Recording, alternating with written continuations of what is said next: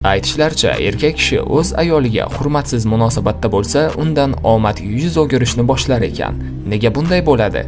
Ayollarning ijodiy fikrlashi juda kuchli bo'lib, ular o'z fikrlashi bilan nafaqat o'z taqdiriga, balki o'zining turmush o'rtog'ini taqdiriga ham ta'sir ko'rsata oladi. Qachonki ayol kishi baxtdan rohatlansa, baxtli ekanligini his qilsa, turmush o'rtog'ini oldida omad eshiklari birma-bir keng ochila boshlaydi va muvaffaqiyat uni orqasidan ta'qib qila boshlaydi. Sababi ayol baxtini ich-ichidan his qilishi bilan turmush o'rtog'iga eng yaxshi narsalarni tilashni va jalb qilishni boshlaydi. Erkak kishiga ayol kishi orqali yoki omad va gullab yashnash oqimi keladi yoki buzg'unchi oqim keladi.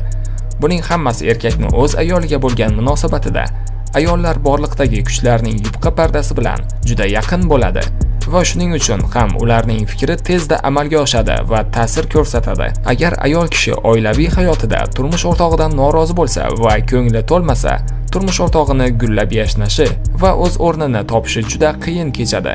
Shuning uchun ham dono erkaklar o'z ayollaridan sovg'alarni yashmaydi ayolini yoqimli va go'zal muhitda olib yurishadi chunki ular baxtli ayollar oilaning quvonchi va rivojlanishning manbasi ekanligini bilishadi.